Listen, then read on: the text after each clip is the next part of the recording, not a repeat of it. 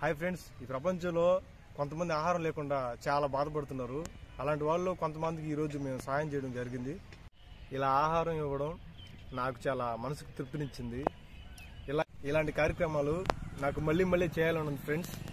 మీరు కానీ నన్ను సపోర్ట్ చేసినట్లయితే ఇలాంటి కార్యక్రమాలను మళ్ళీ మళ్ళీ చేస్తాను ఫ్రెండ్స్.